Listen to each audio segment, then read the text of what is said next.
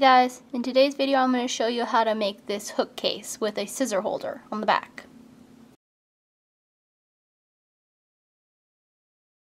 To start off you're going to make a slip knot and chain 10.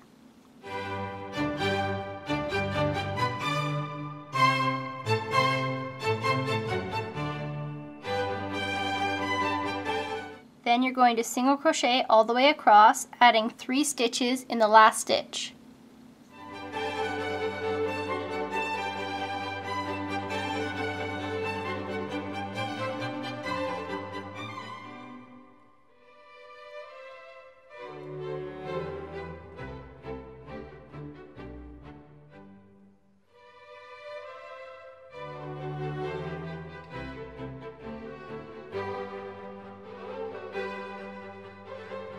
Then rotating your work, you're going to work along the back side of the chain, single crochet all the way across until you get to the last stitch and put two single crochets in the last stitch.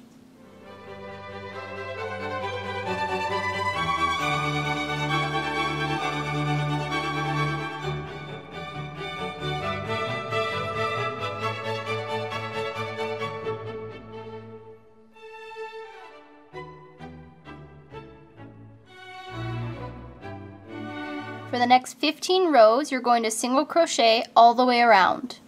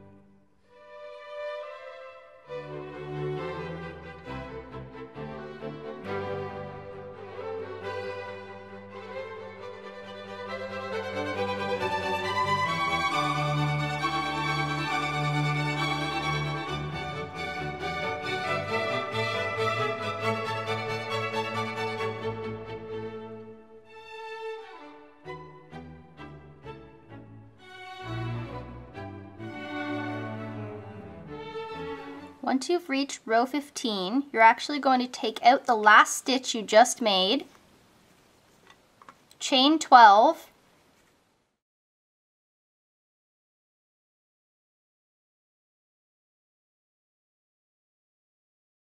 skip 12 stitches,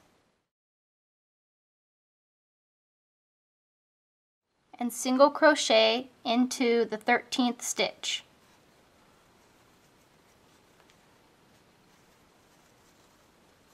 This is going to make the top closure part of your hook case. This is going to be your new starting point. Single crochet all the way around until you've reached the desired length to cover your crochet hook.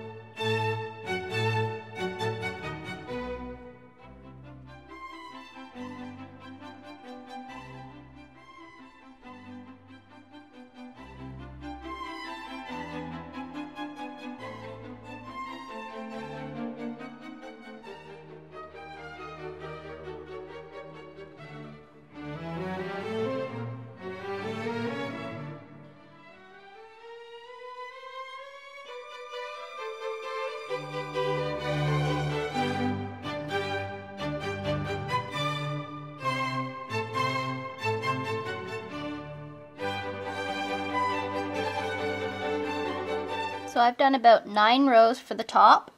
To finish off, you're going to slip stitch the top halves together.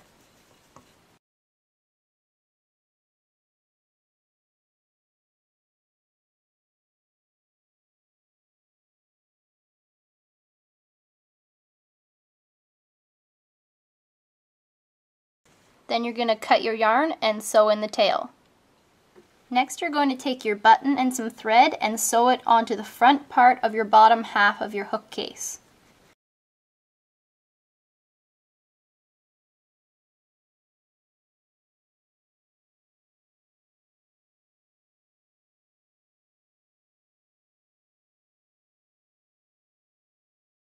Next you're going to make a slip knot and chain the number of chains that will fit around your button.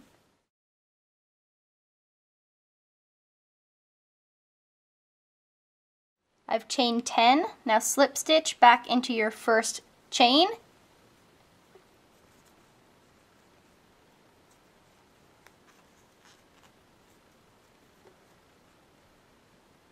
Fasten off and sew this little loop to the front part of your case.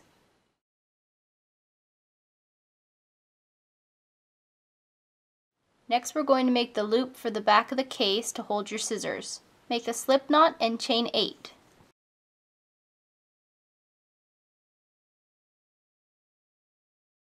Single crochet back across.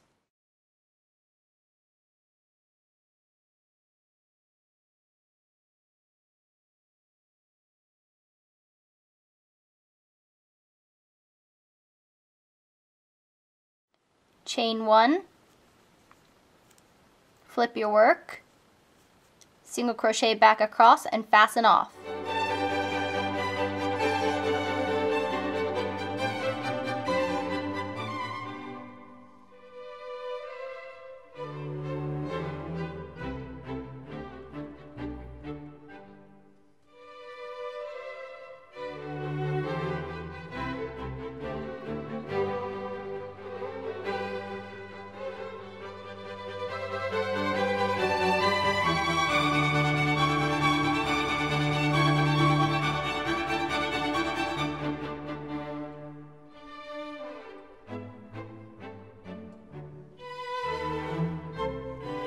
Make sure while sewing that you're only going through the back part and not all the way through so that you're not closing off the hole in the middle.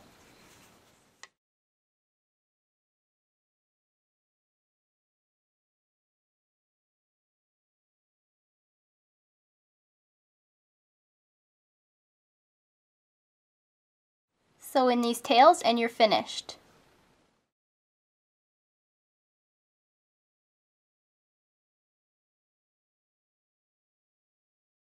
Thanks for watching. Please thumbs up if you like this video, subscribe for more, and leave a comment on what you'd like to see next. Thanks, bye.